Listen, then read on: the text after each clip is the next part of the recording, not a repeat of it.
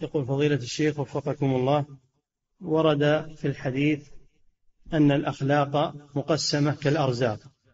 فهل معنى هذا أن الإنسان لا يستطيع أن يغير ما هو عليه من أخلاق؟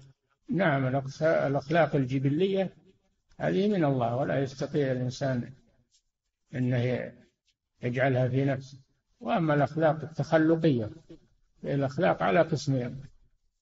خلق جبله الله عليه وخلق يعود نفسه عليه ويتربى عليه. هذا التخلق يسمى. هذا يسمى التخلق.